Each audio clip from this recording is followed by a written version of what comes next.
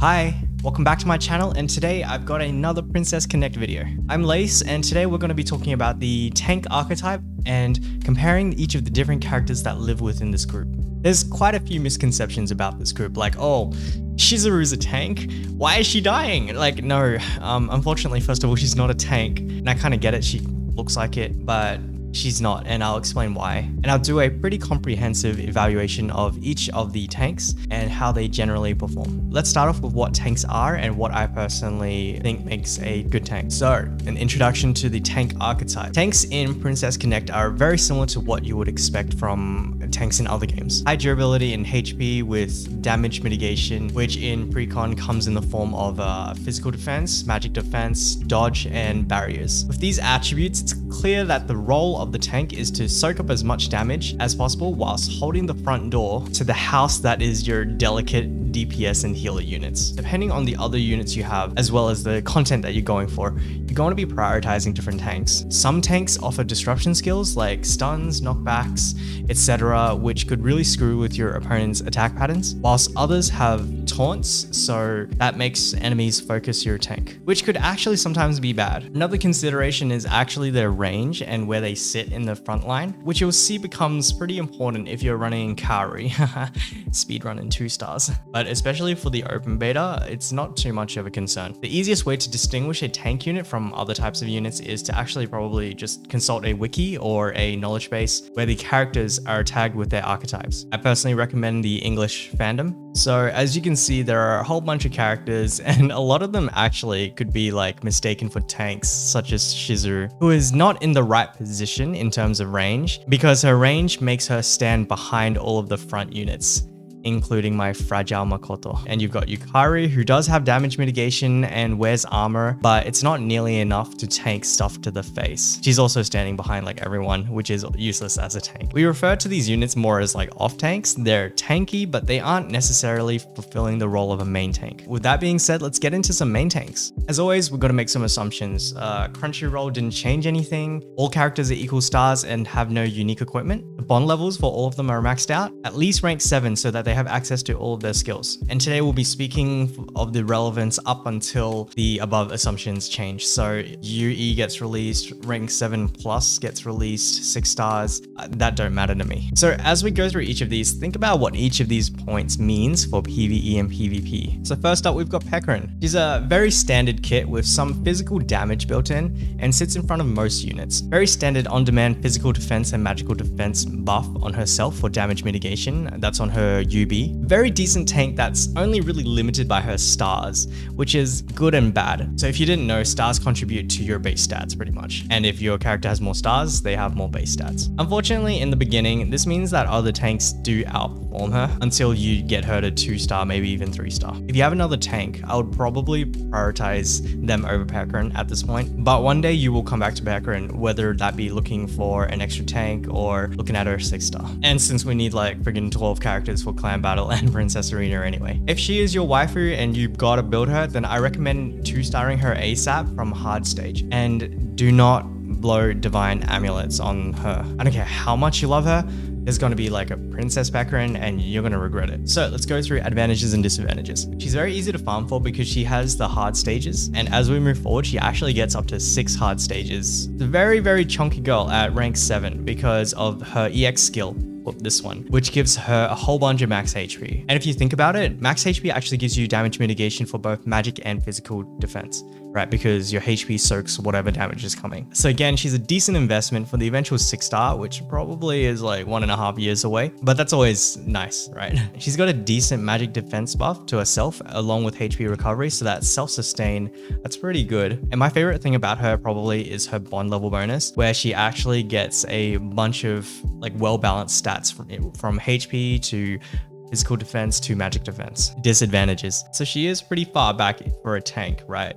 So only Nozomi is further back than her. This means that she actually can't cover Kaori, but that's not really a disadvantage unless you're very insistent on Kaori. She unfortunately does not have a taunt to pull aggro. So you know those mages that fling firebolts at your Yui in the back? She can't deal with that, unfortunately. She doesn't have any like stuns or anything, no disruption. I'm very big on like disruptions, especially if it interrupts the enemy skills. Instead, she's got a whole bunch of physical damage, which I think is extremely unnecessary for a tank because your tank should be focusing on living, not dealing damage, crappy damage at that. And she will struggle being your main tank in the beginning, especially at one star. The monsters just beat you down way too hard. So as for her action pattern, the damage mitigation is actually quite far in the loop after the initial actions. So if you look here, that that's her magical defense buff and that's at the very end of the loop pattern right?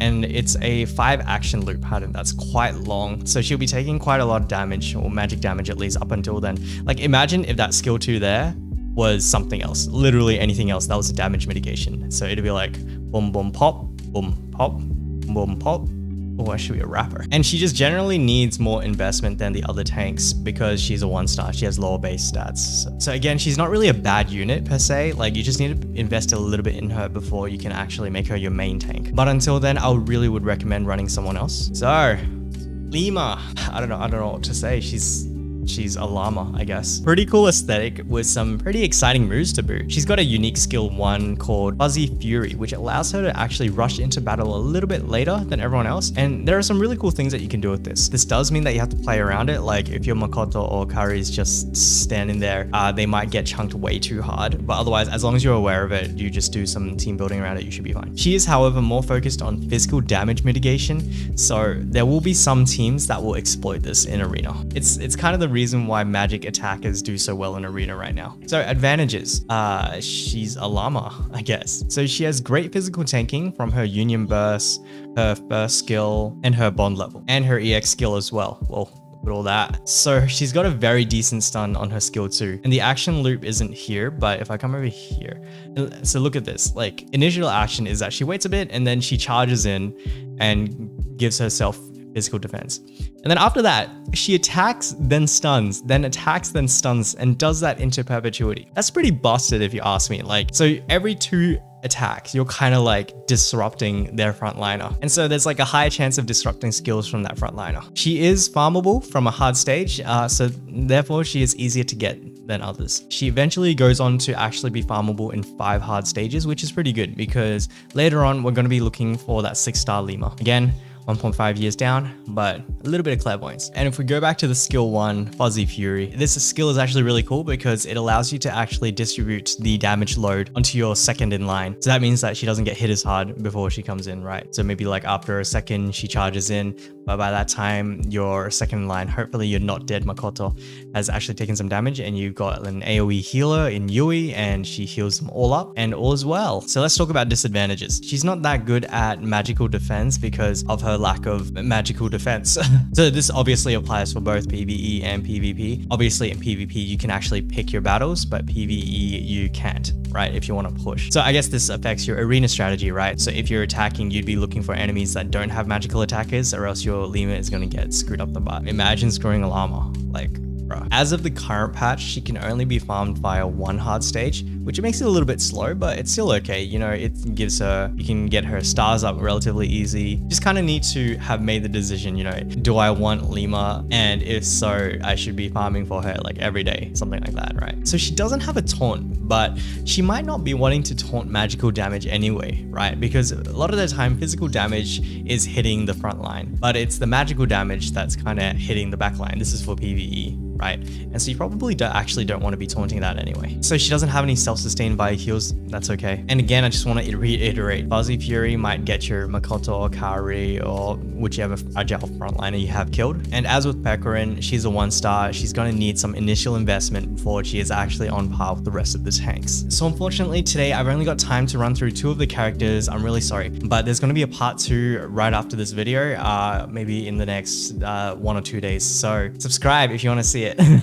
With that being said, let me summarize what we've talked about today so that you don't forget it too badly. The role of the tank is to actually soak up as much damage as possible by using HP, physical defense, magical defense, dodge, barriers, and other quirky skills like stuns and taunts. Make sure that the tank that you're putting out is actually a tank, otherwise they'll be dying a lot. For Pecorine, she's a decent starter tank, but doesn't have a lot of the sweet features that comes from the archetype like stuns, taunts, heals, and she actually needs some investment before she can pull her weight. Otherwise, she's quite a decent, well-rounded tank. As for Lima, well, I don't know, well, she's a llama, right? She's great at physical tanking, awesome disruption action pattern. I love it because like every second hit is pretty much like saying like you're not allowed to play the game, Mr. Frontliner. And her quirky skill of just sitting back at the start and then running in, which again, it lets her second in line soak some damage before she starts taking it herself. Distributed damage. With that being said, that brings us to the end of the video. I hope you guys have actually learned something. So last time I actually left like kind of a secret message, like the arena in the social construct message.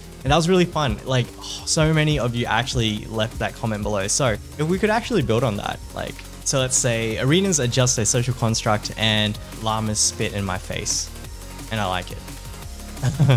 so of course appreciate you guys who come to the end and actually see this. But all good things have got to come to an end and and again like comment subscribe you know the works. See you guys in the next video.